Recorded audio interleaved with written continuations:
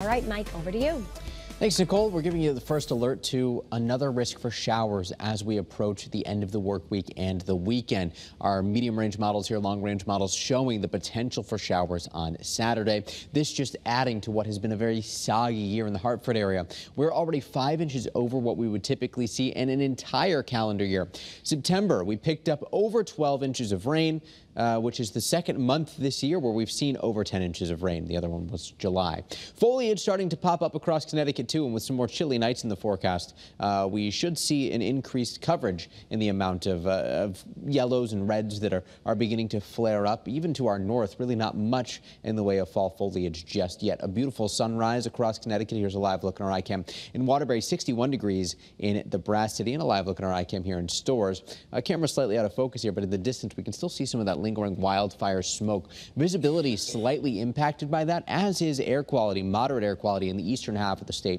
Western half of the state still reporting good air quality, and we'll see that fluctuate throughout the day. As uh, First Alert Futurecast highlights another push of wildfire smoke. This is all near surface smoke it moves in later today and will linger on and off through the remainder of the afternoon and unfortunately into the day tomorrow too. So while today we get to enjoy rather bright conditions, temperatures back in the 70s, it's still uh, the, the big story centers around the lingering smoke and the impacts from that. Thankfully, any impacts to air quality do appear to be minor. High pressure really the dominating factor for the next few days, next several days. Tomorrow with more of a westerly wind direction, we should be able to bring temperatures up into the 80s statewide, challenging records both inland and at the shoreline.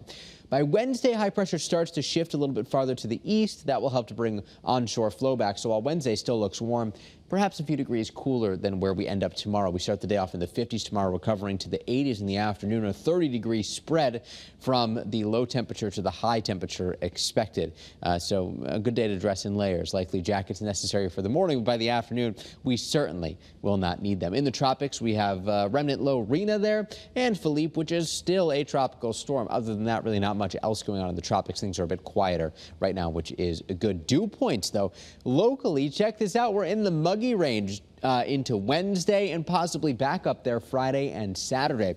So we'll have to watch Friday and Saturday closely because as with uh, higher dew points, a bit more moisture in the atmosphere, and saturated soils, you know, if we bring more showers through, especially if we can get some heavier rain in the mix, perhaps we will be talking about flooding yet again. Forecast low temperatures tonight, about 50 to 55 for most, upper 40s across northeastern and northwestern Connecticut on the first alert seven day here. Records possible tomorrow by Wednesday, warm. Thursday, warm. Friday, showers, giving you the first alert to some lingering showers into Saturday. Tomorrow's record, 85 for the Hartford area, set back in 1919. That's a long-standing record. Bridgeport's record of 80 was set in the year 2000. We're forecasting 84 inland 80 at the shoreline. So even if we don't quite get to the records, we will be just shy of them. Again, the warmth sticks around Wednesday and Thursday. And behind the front this weekend, we will see some significant changes from Saturday, upper 60s near 70 degrees, dropping to around 60 degrees by Sunday afternoon. So certainly much cooler, feeling much more fall-like as we end the week. But for now, a bit of a summer preview, or rather a, a summer reminder, Nicole, as we start off October with temperatures in the 80s. All right. Well, we'll just enjoy it and then go back to our sweaters and then go back to our flip flops and, you know, welcome to New England. Thank